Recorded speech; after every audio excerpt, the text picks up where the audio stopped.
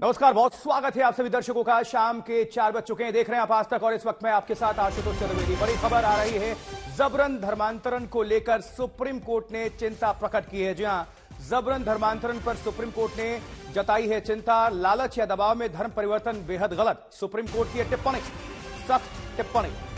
Supreme court ने कहा, हमारी चिंता देश भर के मामलों को लेकर है। जबरन धर्मांतरण मामले में सुप्रीम कोर्ट ने चिंता ज़ाहिर की है। और सुप्रीम कोर्ट का वक्तव्य है कि लालच या दबाव में धर्म परिवर्तन बेहद गलत, सुप्रीम कोर्ट की टिप्पणी। सख्त टिप्पणी, हमारी चिंता देश भर के मामलों को लेकर है, किसी एक मामले को लेकर नहीं है, बल्कि देश भर में जो भी जबरन धर्मांतरण हो रहा है, लालच को लेकर, पैसे को लेकर, उस पर सुप्रीम कोर्ट ने चिंता ज़ाहिर की है। इस वक्त की यह बड़ी खबर। चलिए, ज़्यादा जानकारी के लिए संजय शर्मा का रुख करते हैं। हमारे साथ हमारे संवाददाता जुड़ चुके हैं। संजय, क्या कुछ कहा गया है सुप्रीम कोर्ट की तरफ़ से जबरन धर्मांतरण मामले पर?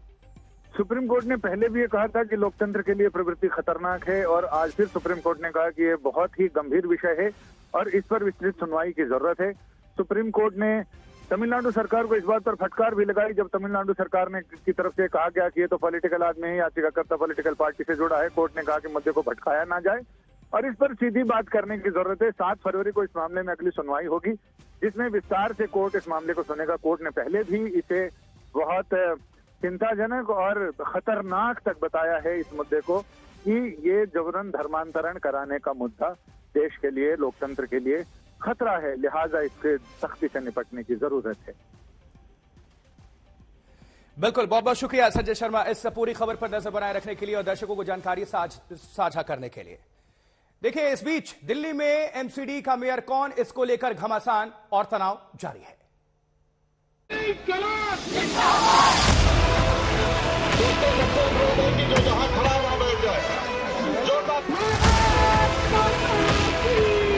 बेईमानी वो करेगा जिसको कुछ नहीं मिला, जिसको जनता ने कुछ नहीं दिया, इसलिए बीजेपी बेईमानी करके सरकार बनाना चाहती है। मैन हैंडलिंग करी, लोगों से हिंसा करी, हमारे सात पार्षदों को चोटें आई हैं।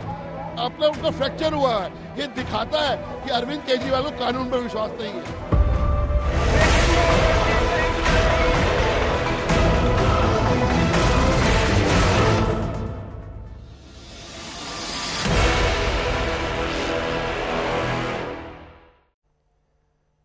देखिए दिल्ली में एमसीडी का मेयर कौन होगा? इस पर तनातनी और बढ़ चुकी है। आम आदमी पार्टी सड़क पर उतर आई है और भारतीय जनता पार्टी दफ्तर के बाहर आम आदमी पार्टी का प्रदर्शन चल रहा है। उधर भारतीय जनता पार्टी भी पीछे नहीं। बीजेपी ने केजरीवाल के सरकारी आवास के बाहर मोर्चाबंदी की कर, कर दी है और हल्ला बोल दिया है। देखिए बीजेपी के भी सैकड़ों कार्यकर्ता केजरीवाल के घर के करीब जमा हैं।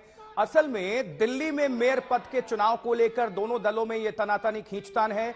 और इससे पहले एमसीडी के सदन में आप सभी ने देखा, दोनों पार्टियों के पार्षद आपस में भिड़ गए थे, जहाँ तनातनी, हाथापाई मारधार सब कुछ हमें देखने को मिला। पर्ची भी फाड़ दी गई और साथ ही फ़ाइल को छुपा लिया गया था। लेकिन अभी पाँच तस्वीरों को आपके सामने हम रख रहे हैं, जहाँ आम आदमी पार्टी का यह प्रदर्शन है। बीजेपी हेडक्वार्टर के बाहर। भारतीय जनता पार्टी का जो मुख्यालय है, वहाँ पर आम आदमी पार्टी के कार्यकर्ता पहुँच गए नारेबाजी की। लेकिन बदले में पलटवार करते हुए भारतीय जनता पार्टी पहुँच गई कहाँ? केजरीवाल के आवास के बाहर। देखिए स्पेशल रिपोर्ट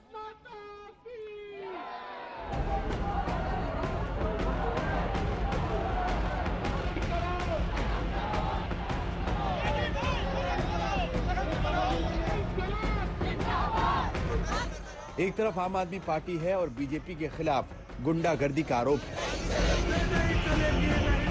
शांतिपूर्ण तरीके से हमारे नेता सदन ने बात रखी लेकिन भारतीय जनता पार्टी की जो कार्यकर्ता के रूप में जो काम कर रही थी वहाँ पर जो जो आपकी पीठासीन अधिकारी जिसको बनाया एक तो वो अलोकतांत्रिक तरीके से बनाया गया उसके बाद जो दस नॉमिनेटेड थे वो वो भी अलोकतांत्रिक तरीके से बनाया था। अपनी हार इनको बर्दाश्त नहीं हो रही। ये देश के दुश्मन है दिल्ली के दुश्मन है। आज ये हार के कारण ये सारी हरकतें कर रहे हैं। तो दूसरी ओर बीजेपी है और आम आदमी पार्टी पर गुंडागर्दी का आरोप।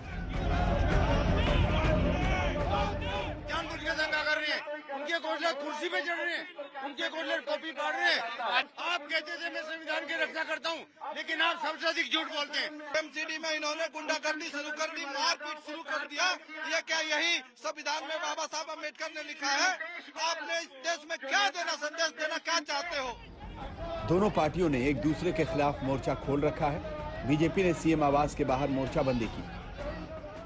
ये वो जगह है जिसे चंदगिराम अखाड़ा कहते हैं और यहाँ पर से कुछ ही दूरी पर दिल्ली के सीएम का आवास है। और यही वजह है कि बीजेपी की ये जो यूनिट है यह यहाँ से प्रदर्शन और मार्च करते हुए सीधे आवास की तरफ़ जाएगी। पुलिस ने चौकसी अपनी बढ़ा दी है ताकि इन्हें वहाँ पर जाने से रोका जा सके। इन सब के बीच आप पोस्टर्स में देख सकते हैं। बाकायदा पोस्टर वार हो रहा है जहाँ पर उन पोस्टर्स में तमाम जो आप एमएलए हैं और वो लोग जो कि सदन में हंगामा करते हुए दिख रहे थे उसे हथियार बनाया है दिल्ली बीजेपी ने। तो आम आदमी पार्टी ने बीजेपी दफ्तर के बाहर मोर्चा संभाला। यहाँ पे एलिगेशन ये है आम आदमी पार्टी का कि जो कॉन्स्टिट्यूशन है, उसके साथ खिलवाड़ किया जा रहा है। और तस्वीर आप देखिए, यहाँ पे तमाम जो पार्षद है काउंसलर्स इस वक्त सिटिंग प्रोटेस्ट कर रहे हैं। पुलिस दूसरी तरफ़ मौजूद है और वहीं नारेबाजी चल रही है। इस सियासी तनातनी के बैकग्राउंड में वो बवाल है, जो शुक्रवार को मेयर चुनाव से पहले एमसीडी सदन में हुआ। मनोनीत पार्षदों के चुनावी अधिकार पर आम आदमी पार्टी ने आपत्ति जताई और फिर हंगामा बढ़ता गया। शुक्रवार को सदन में हुआ सियासी बवाल 48 घंटों बाद सड़क पर आ गया और दोनों पार्टियाँ एक दूसरे के खिलाफ विरोध प्रदर्शन पर उतर आई। साहब इस लेवल पे सेटिंग करने में लगे हुए कि सेंट्रल जोन में कैसे बीजेपी का जोन का चेयरमैन बन जाए? सेंट्रल जोन से कैसे कोई मेंबर स्टैंडिंग कमेटी में चला जाए बीजेपी का? उसके लिए क्या गणित लगा सकते हैं? क्या डर्टी पॉलिटिक्स कर सकते हैं? उस तक में एलजी साहब शामिल है। सोचिए, ये पद, इतना बड़ा संवैधानिक पद को कहा गिरा के लेके आए हमारे एलजी साहब?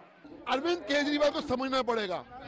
कानून के हिसाब से, आपके हिसाब से कानून नहीं चलेगा। कानून तो कॉन्स्टिट्यूशन के हिसाब से चलेगा। और कॉन्स्टिट्यूशन कहता है कि सेक्शन तीन में अरविंद, अपना लेफ्टिनेंट गवर्नर जो एडमिनिस्ट्रेटर है, उनको पूरा अधिकार है चुनने का मनोनीत पार्षद। आपको डर किस बात का है? आपको डर इस बात का है कि कहीं अभी क्रॉस वोटिंग ना कर दे। मामला मेयर चुनाव का है। आम आदमी पार्टी के पार्षदों की संख्या ज़्यादा है, लेकिन बीजेपी भी ज़्यादा पीछे नहीं है। लिहाजा दिल्ली की सत्तारूढ़ पार्टी को डर सता रहा है कि कहीं मेयर का पद हाथ से न निकल जाए। लिहाजा तनातनी लगातार बढ़ रही है। राम किंकर सिंह और पंकज जैन के साथ आज तक ब्यूरो। चलिए, बढ़ते हैं आगे। अगली खबर की बात करते हैं। देखिए, कोरोना काल के बाद पहली बार प्रवासी भारतीय सम्मेलन का आगाज़ हुआ है, जहाँ प्रधानमंत्री नरेंद्र मोदी प्रवासी भारतीय सम्मेलन का उन्होंने उद्घाटन किया और इस मौके पर उन्होंने कहा कि भारतीयों ने दुनिया भर में अपनी छाप छोड़ी है। उन्होंने विदेशों में रहने वाले भारतीयों को सराहा 2019 के बाद। पहली बार यह सम्मेलन प्रत्यक्ष तौर पर हो रहा है और तीन साल से यह कोरोना की वजह से डिजिटल मोड पर ही संपन्न हुआ था। इस बार इसका थीम अमृत काल में भारत के भरोसेमंद सहयोगी थीम पर होगा। सत्तर देशों के 3500 प्रवासी भारतीय इसमें शामिल हैं। पिछले कुछ वर्षों में भारत ने विकास की जो गति प्राप्त की है, जो उपलब्धियाँ हासिल की हैं, वो असाधारण है, अभूतपूर्व है। जब भारत कोविड महामारी के बीच कुछ महीनों में ही स्वदेशी वैक्सीन बना लेता है, जब भारत अपने नागरिकों को 220 करोड़ से ज़्यादा वैक्सीन डोज मुफ़्त लगाने का रिकॉर्ड बनाता है, जब कैशलेस इकोनॉमी की बात होती है, फिनटेक की चर्चा होती है तो दुनिया ये देखकर हैरात में है कि विश्व के 40 percent real time digital transaction Bharat में होते हैं। जो स्पेस के फ्यूचर की बात होती है तो भारत की चर्चा स्पेस टेक्नोलॉजी के मोस्ट एडवांस देशों में होती है। भारत एक बार में 100-100 सैटेलाइट लॉन्च करने का रिकॉर्ड बना रहा है। भारत दुनिया के जी ट्वेंटी समूहों की अध्यक्षता भी कर रहा है। भारत इस ज़िम्मेदारी को एक बड़े अवसर के रूप में देख रहा है। हमारे लिए ये दुनिया को भारत के बारे में बताने का अवसर है। इंदौर में झगड़ा इस बात का था कि होटल में क्यों ठहरा रहे हो? हमारे घर ले आओ ना हमारे प्रवासी भारतीय भाई और बहनों को। एक अद्भुत उत्साह का और उमंग का वातावरण है। आप सबने भी इस कार्यक्रम को अविस्मरणीय बनाने के लिए कल इंदौर में ग्लोबल गार्डन बनाया है।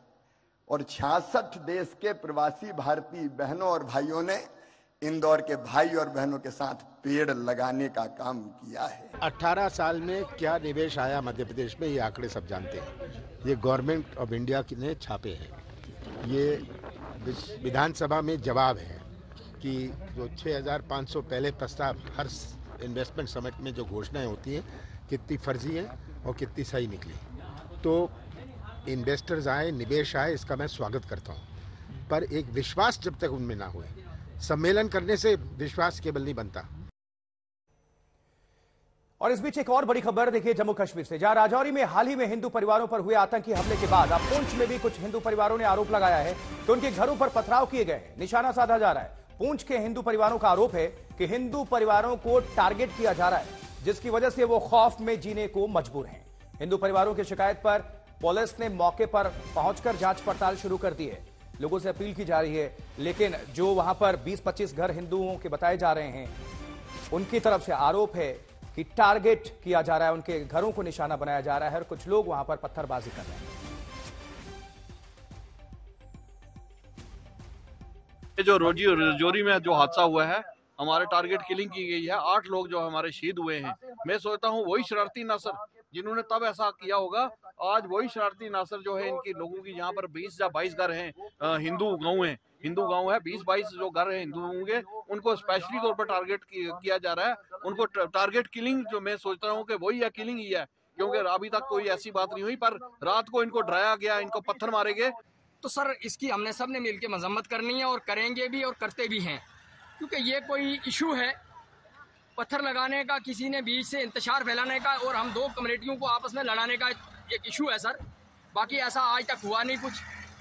आज तक हम एक दूसरे के मरने, जीने में बाबरतन हमारा सब एकदम रिलेशन अच्छे हैं। ये ख़राब करना चाहते हैं और इंतज़ार फैलाना चाहते हैं, लेकिन इसके लिए मैं एडमिनिस्ट्रेशन से गुजारिश करूँगा। इस इंतज़ार को मिटाने के लिए यहाँ प्रोटेक्शन दी जाए या कि हम लोगों को ना लड़ाया जाए, ना ये मवाद पैदा किया जाए। एक अच्छी पहल। देखिए, दिल्ली से अब खबर, क्योंकि दिल्ली से पटना जा रही इंडिगो की उड़ान में सवार तीन यात्रियों पर नशे की हालत में बदसलूकी के आरोप लगे हुए हैं, और तीन में से एक आरोपी भाग निकला, जबकि दो आरोपियों को पुलिस ने गिरफ़्तार कर लिया है। पूरी खबर क्या है, आपको हम दिखाते हैं।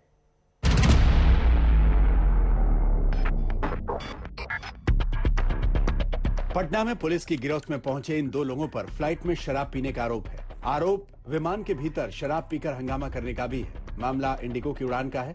जो रविवार की रात करीब पौने नौ बजे दिल्ली से पटना पहुँची। उसमें तीन यात्रियों ने शराब पीकर बदसलूकी की। लेकिन जब फ़्लाइट पहुँची तो एक आरोपी भागने में कामयाब रहा। इंडिगो की flight six E, six three eight three में दिल्ली से पटना आने वाले तीन यात्रियों ने जो शराब के नशे में धुत थे, उन लोगों ने विमान के अंदर एयर होस्टेस और पायलट के साथ बदतमीजी की, हाथापाई भी की और फिर जब यह फ़्लाइट कल रात पटना पहुँची तो उसमें से एक यात्री जो है वो भागने में फरार हुआ और उसके बाद सीआईएसएफ ने दो यात्री, जिनका नाम रोहित कुमार और नितिन बताया जा रहा है, उनको सीआईएसएफ ने पटना पुलिस के हवाले कर दिया और इस वक्त आपको हम तस्वीरें दिखा रहे हैं पटना के एयरपोर्ट थाने की, जहाँ पर आप देख सकते हैं कि दो, रोहित कुमार और नितिन नाम के दो यात्री हैं।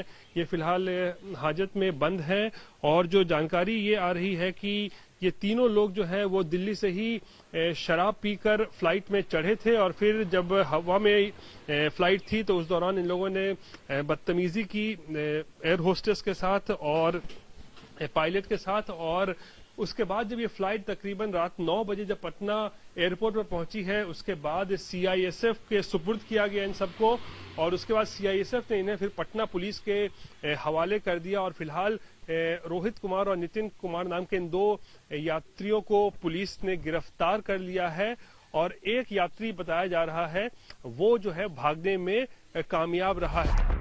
जब फ़्लाइट पटना पहुँची तो विमान कर्मचारियों ने सीआईएसएफ को घटना की जानकारी दी और फिर सीआईएसएफ ने आरोपियों को पटना पुलिस के हवाले कर दिया। अब पटना पुलिस ने दोनों आरोपियों पर शराबबंदी कानून के तहत मामला दर्ज किया है। ये दो लड़का है लोग, इंडिगो में। दिल्ली से आ रहा था सर, उन लोग, इंडिगो ने शिकायत किया कि नशा किया है लोग। वो उन लोग को, हम लोग दो आदमी को हैंड ओवर किया। हम लोग यहाँ बेथ एनालाइजर से जाँच किए दोनों में दारू का अंश आया दोनों पर एफ़ हो रहा है दोनों एक्साइज कोर्ट जाएगा। पूछताछ किया कौन लोग हैं क्या करते हाजी हैं? हाजीपुर का दो लड़का है लोग। प्लेन में बदसलूकी की घटना लगातार बढ़ रही है। हाल में एयर इंडिया के फ़्लाइट में बुज़ुर्ग महिला के साथ बदसलूकी ने पूरे देश को हैरान किया और अब इंडिगो की घटना। सरकार भी प्लेन में बढ़ती बदसलूकी की घटनाओं पर चिंतित है। सूत्रों के हवाले से खबर है कि एयरपोर्ट सिक्योरिटी रिव्यू पर एमएचए ने गृह सचिव की अध्यक्षता में उच्च स्तरीय बैठक की है, जिसमें एयरपोर्ट सुरक्षा, लॉजिस्टिक्स और इंफ्रास्ट्रक्चर के मुद्दे को लेकर चर्चा हुई। साथ ही एयरलाइंस में हाल में हुई बदसलूकी की घटनाओं पर चर्चा की गई। दो दिनों पहले उड्डयन मंत्री ने कड़ी कार्रवाई के संकेत दिए थे। जो उसमें उसमें जो कार्रवाई हो रही है, वो कार्रवाई समाप्त होते ही उसका एक्शन भी तीव्र गति से लिया जाएगा। विमानों में बदसलूकी की घटना पर सरकार तो गंभीर है लेकिन लोगों को भी सोचने की दरकार है। आज तक ब्यूरो। और इस बीच लखनऊ के गोमती नगर में बीती रात सेना के एक मेजर की कार को कुछ लोगों ने आग के हवाले कर दिया और जानकारी के मुताबिक देर रात मेजर ने होटल में बज रहे डीजे को बंद करने को कहा तो आरोपियों का गुस्सा फूट पड़ा। उन्होंने मेजर की कार में आग लगा दी। हालाँकि सीसीटीवी कैमरे में भी आग लगाते आरोपियों की तस्वीरें कैद हो गई हैं। मेजर के परिजनों के मुताबिक डीजे को बंद करने के लिए कहने पर आरोपियों ने पहले उन्हें धमकाया, फिर जब परिजन होटल से अपने घर लौट आए तो आधी रात के अंधेरे में आरोपी छुप करके आए और कार में आग लगा दी। फ़िलहाल पुलिस ने कार को गोमती नगर थाने में ले लिया है और वहीं दूसरी तरफ़ मेजर की तरफ़ से होटल मालिक और मैनेजर समेत सात लोगों के खिलाफ एफआईआर दर्ज कराई जा चुकी है। तो सेना के मेजर की कार लखनऊ में डीजे बजाने को लेकर एक परिवार ने ऑब्जेक्शन किया तो दबंगों ने उस परिवार की गाड़ी ही जला दी। ये मामला आर्मी में मेजर के घर कर हुआ है। उसकी गाड़ी को आग लगा दी गई दबंगों ने। ये मामला गोमती नगर थाना क्षेत्र में है। ये गाड़ी जहाँ पे खड़ी थी, वहाँ पर ये देखिए, ये अवशेष की गाड़ी जला करके किस तरीके से फूकी गई। पूरी कॉलोनी, ये गेटेड कॉलोनी है और इसी कॉलोनी के बगल में एक होटल मिलानो है, जहाँ पर ये डीजे बज रहा था रात में। तो इस घर में रहने वाले मेजर ने जो बेटे हैं इस घर के उन्होंने शिकायत की कि डीजे नहीं बजाया जा। रात में 12 एक बजे की बात थी। उस समय पर डीजे बंद कराने को लेकर के विवाद हुआ परिवार अपने घर आ गया। उसके बाद करीब तीन बजे दबंगों ने उस कार को आग लगा दी जो इस घर के बाहर खड़ी थी। क्या है? मिल, मिलान होटल। अच्छा। जब से खुला तब से आठ नौ महीने से बवाली होता रहता है कभी। गाड़ी की पार्किंग को लेके कभी किसी चीज़ को लेके सब आदमी अवॉइड करता है। धीरे। अवॉइड ही कर रहे थे लेकिन घर में आप सोचिए आदमी कब सोने का भी तो एक टाइम होता है ना। आदमी बीमार है कोई बीमार है सो रात में एक बज रहा है डेढ़ बज रहा है आप शोरगुल कर ही जा रहे हो। तो इसलिए जो है आदमी तो मना करेगा ही इसमें। अब आप लोगों ने एफआईआर कराई इस पर? हाँ जी एफआईआर करा दी है हम लोगों ने। और बाकी और भी जो है अ, पुलिस ने आश्वासन दिया है कि वो कार्रवाई करेगी। और हम लोग चाहते हैं कि जो है जो जिन लोगों ने ये किया है उनको बहुत सख्त सजा मिले। ये वो परिवार है जिसके घर में बच्चा था वो बीमार था। परिवार में बुज़ुर्ग दंपत्ति हैं। और जब इन लोगों ने होटल मिलानो जहाँ पर जो लोग रह रहे थे या पार्टी कर रहे थे उनसे जब डीजे बंद करने को कहा गया तो उसके बाद इनकी गाड़ी में आग लगा दी गई। कैमरा पर्सन गौरव के साथ संतोष कुमार आज तक। उत्तराखंड सरकार अब जोशीमठ तक दौड़ी है और नज़रें उठी हैं कि आखिर लापरवाही हुई कहाँ क्या चूक हुई? फ़िलहाल फौरी तौर पर प्रभावित परिवारों को मदद पहुँचाया जाना प्राथमिकता है। मदद की तमाम पहल तेज कर दी गई हैं।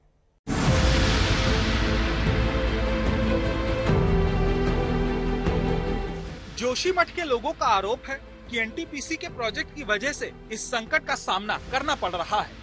लेकिन आफत के बीच एनटीपीसी की ओर से सफ़ाई जारी की गई। कहा गया कि एनटीपीसी की सुरंग जोशीमठ के नीचे से नहीं जा रही। इस सुरंग का निर्माण टनल बोरिंग मशीन से किया गया। वर्तमान में कोई भी ब्लास्टिंग कार्य नहीं किया जा रहा। जोशीमठ में हो रहे भू धंसाव के लिए एनटीपीसी की सुरंग का कोई भी संबंध नहीं है। आखिर क्या होगा जोशीमठ का? क्या होगा उन परिवारों का, जो अपना आशियाना टूटते देख रहे हैं? अब बारिश होगी बर्फ़ बर्फ़ गिरेगी तब आप देखना यहाँ पे क्या हालत होती है हमारे ठंडे से। सबसे पहले तो यहाँ पे पानी तक नहीं है। जोशीमठ का यही दर्द देखने सीएम पुष्कर सिंह धामी पहुँचे। सीएम धामी ने पीड़ित परिवारों से मुलाकात की। उन्हें दिलासा दिया। अलग अलग हिस्सों का जायजा लिया। स्थानीय लोगों से बातचीत की। जहाँ लोगों ने अपना दर्द सीएम के साथ साझा किया। क्या करें? अब समझ में नहीं आ रहा क्या किया जाए कैसे करें? क्या सरकार हमको आ, हमारी सुनेगी नहीं सुनेगी? बाकी आज मुख्यमंत्री जी आए थे मेरे पास भी आए। मैंने अपने जो इमोशनल होके मैंने उनसे रिक्वेस्ट किया था। तो उन्होंने कहा था कि देखिए मैं तो इसीलिए आया हूँ आप हताश मत हो सब ठीक हो जाए ये आश्वासन दे के गए हो। दिल्ली से लेकर देहरादून तक सरकार एक्शन में है। सीएम जब जोशीमठ से दिल्ली लौटे तो आपदा प्रबंधन केंद्र में हाई लेवल बैठक की फिर राहत कार्यों को लेकर कई निर्देश दिए। फ़िलहाल तो सभी काम अभी रोक दिए गए हैं और हम लोग इस समय में आपदा के समय में सरकार यहाँ के जोशी मठ के सभी लोगों के साथ है और हम सब मिलकर मैं नरसिंह मंदिर गया था मैंने भगवान से प्रार्थना की कि भगवान हम सब पर कृपा करें और इस आपदा से हम सभी को सुरक्षित रखें विशेषकर से हमारे जोशीमठ वासियों को और जोशीमठ को। जोशीमठ में प्रशासन की लगातार नज़र है। प्रभावित परिवारों को राहत कैंपों में भेजा जा रहा है। राज्य आपदा प्रबंधन अधिकारी और विशेषज्ञ सर्वे में जुटे हैं। खतरनाक मकानों में रहने वालों को सरकार ने कहा है कि वे दूसरी जगह पर रेंट पर चले जाएँ। सरकार उन्हें छह महीने तक हर महीने बतौर किराया चार हज़ार रूपए देगी। जो घर बहुत बुरी तरह क्षतिग्रस्त है सबसे पहले तो उनको हटाना है वहाँ से टेम्प्रेरी जो भी लोग घर क्षतिग्रस्त है जिनमें रहा नहीं जा सकता है उनको हम टेम्प्रेरी शेल्टर में ले जाएँगे और उसके बाद परमानेंटली परमानेंट सेटलमेंट के लिए हम जगह चिन्हित कर रहे हैं। उनकी जियोलॉजिकल स्टडी करा के वहाँ पर प्री फैब स्ट्रक्चर हम बना करके लोगों को शिफ्ट करेंगे। ये तो हुआ उनके राहत का कार्य का। उनके पशुधन को भी हम उसी तरह से टेक केयर करेंगे उनको भी व्यवस्था करेंगे। जोशीमठ में जो संकट गहराया है, अब सुप्रीम कोर्ट में भी पहुँच गया। स्वामी अमुक्तेश्वरानंद सरस्वती ने कहा है कि जोशीमठ सदमे में है। सुप्रीम कोर्ट में हम लोग जा रहे हैं। याचिका हमने दायर कर दी है। अर्जेंसी भी हम लोगों ने बताई है कि तत्काल इस पर सुनवाई की जाए। कल जब कोर्ट खुलेगा तो फिर से मेंशन करेंगे। न्यायाधीशों के ऊपर है कि वो कितनी जल्दी इसको सुनते हैं और इस बारे में जो हम लोग डायरेक्शन चाह रहे हैं, वो देते हैं। जोशीमठ को लेकर केंद्र भी अलर्ट पर है। उम्मीद की जानी चाहिए कि जल्द से जल्द एक्सपर्ट की टीम किसी ठोस नतीजे पर पहुंचेगी। देहरादून से अंकित शर्मा जोशीमठ से कमल नयन सिलोड़ी और अमित भारद्वाज के साथ राजीव ढोंडियाल आज तक।